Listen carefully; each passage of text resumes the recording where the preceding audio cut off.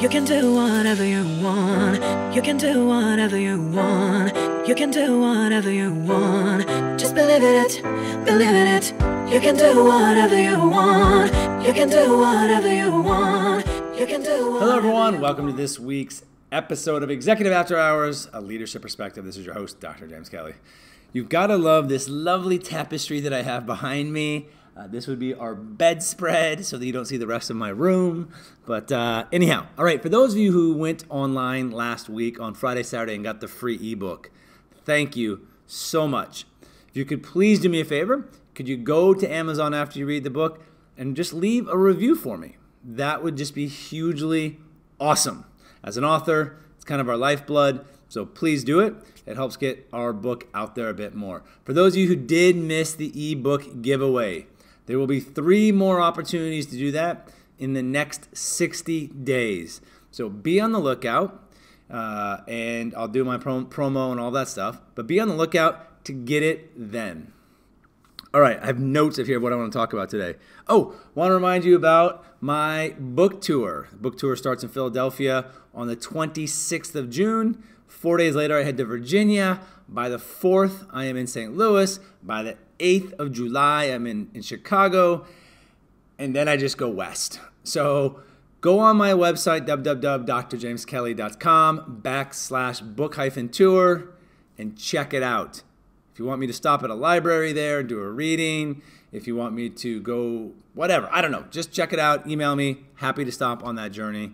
Thanks so much. And uh, all right, let's get to this week's actual topic. And I was really excited about this because it's all around the impact of Machiavellianism on an authentic leader's morality. And I think what a fantastic topic because really when you're in corporate world, you're you're scrambling sometimes to get ahead and we create this competitive environment. And so what role does Machiavellianism play? So what is Machiavellianism? It's really the way I think about it at least is that the strong survive, the weak will perish. And you do whatever you can to move ahead in an organization to get to the top or achieve your goals, if you will. And so this article is uh, brought to you by Dr. Sen Sendjaya and his colleagues. And this is in the Journal of Business Ethics, 2014, September. And here is the title. It's a bit of a long title, so I apologize. It is Are Authentic Leaders Always Moral? The Role of Machiavellianism in the Relationship Between Authentic Leaders and Morality.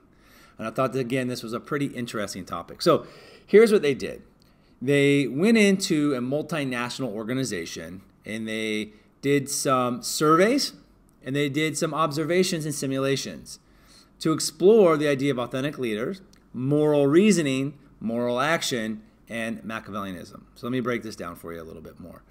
So they wanted to explore the big question Does Machiavellianism impact the role of moral, moral reasoning, the thought of moral behavior, on authentic leaders' choice of moral actions? So, what role does that play? So, hypothesis one, their big first hypothesis they want to test, is does moral reasoning actually impact and have a relationship with an authentic leader? And here's what they found out directly, no. But as soon as you, in, you start to add into the equation, so to speak, Machiavellianism, what they found is that when an authentic leader was high in Machiavellianism, there was a negative relationship between moral reasoning and authentic leadership.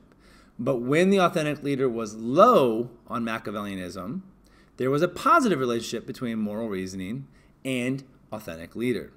Now here's the here's the part that I thought was kind of interesting is that held true from authentic leader and their actions towards moral actions. So, what that's saying is that when when an authentic leader sees themselves as high in Machiavellianism, there's actually a negative relationship for them to act morally. So just because I'm an authentic leader does not mean I'm going to act morally when I'm looking out for myself and my best interest. However, when someone saw themselves as low Machiavellianism, then their behavior was more congruent, their moral behavior, from being an authentic leader. But then they wanted to take one step further and say, okay, does moral reasoning equal authentic leadership, which equals moral actions? And what they found out is that it does not. that there's an in the relationship just isn't there, which begs for a bigger question in terms of the order of this proposed relationship. We can get to that in a second. And so when we look at all of this, there is no indirect or direct effect with authentic leader between the moral and the uh, moral reasoning and moral action. So here's the thing that I also thought was really fascinating is that in the concept of authentic leadership in the academic literature, they talk about the idea of internal moral perspective. And this is really about the moral reasoning here. But they actually argue in this paper that integrity is different than that. So, from the aspect of authentic leadership, they say, hey, listen, if internal moral processing is a component or a factor of authentic leadership, that's an internal choice. That's a moral choice. And what they say is that integrity is about trying to fulfill your obligations to those around you. That is external to the human being. I actually disagree with that 100%. I think that to act in a moral way, when you strip away Machiavellianism, to act in a moral way, to have integrity, actually begins from the inside of the human, the inside of the leader. And when they embrace the idea of doing right instead of being right, magic can really start to happen at that point. And so within this study, kind of the biggest limitation that I saw was one, the way that they actually measured moral actions. I don't think that the way they did it, which was through simulations, through observations, through role playing, is probably the best way to measure that in this equation. The other big thing I think is a shortcoming of this study is the fact that where they put authentic leadership in that. So I think that, in my opinion, that authentic leader is a way of being. It's a sense of who you are. That actually is an out, the outcome of that is moral reasoning and moral action. The last thing I will say that was kind of a shortcoming, and they acknowledge a lot of these in the paper, by the way, is that authentic leadership was a self evaluation. And that in itself can be a fundamental flaw. Because I might believe I'm authentic, but those I work with might think I'm just a raging asshole and will not actually agree with me whatsoever. And in fact, some of us think that being a raging asshole is being authentic, which is not true either in my book and based on the book.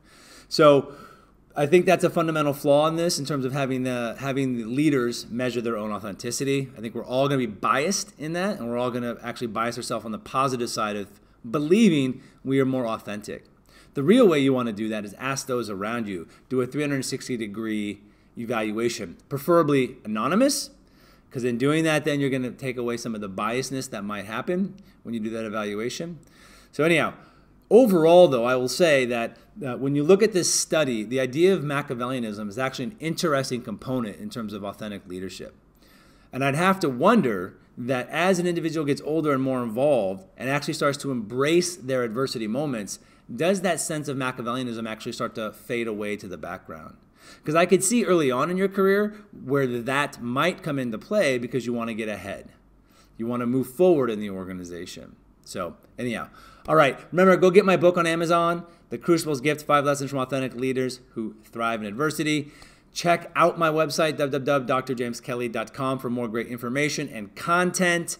And finally, be on the lookout for a free worksheet that I'm going to hand out to you to really assess if you're looking at your crucible moments the right way. All right, till next week, everyone. See you later. Maybe from my bedroom, which sounds a bit creepy, or from my office, which probably sounds a little bit less creepy. All right, until next week. Ciao.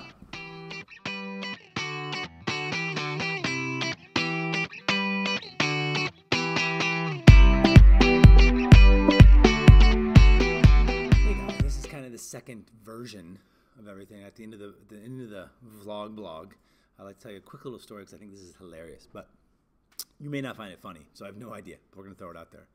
So uh, I obviously teach at a university, and I'm, this summer I'm actually teaching a class, which I don't usually teach a summer class. It's not my thing. I like to have some time off, but uh, I'm teaching this strategic management class, and I find it really interesting, and I have some really great students. And so the other day we were talking about the role of suppliers and who has power in the supply chain. So I'm asking questions like, okay, you know, I say like, who who has the power in the Walmart supply chain? Is it Oreo cookies or is it Walmart? You know, they're like, oh, it's Walmart, blah blah blah. And I asked another question. I said, okay, who who has the power in the relationship between uh, Coke and a university? you know, and the some says, well, university, and some argue Coke. We go back and forth. You have to know that these students, because English is a second language for them, they sometimes take literally what you say, verbatim. And so nuance is a little bit lost when you have these conversations. And so finally I say, okay, great. So everyone pull out your, your iPhones, because iPhone's kind of the predominant brand here. I say, all right, who makes the glass on that iPhone? Now I'm looking for a particular answer, but without missing a beat, I said, said, hey, listen, who who makes the glass on this iPhone? And without missing a beat, a small child.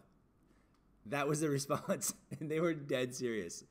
And uh, I had to stop. I had to not wet my pants, and I had to say, well, what I meant was, yes, maybe a small child does, but I meant to say Samsung. So, so anyhow, it was one of those funny moments in class that uh, I think professors sometimes would love to share small children. Who knew? All right.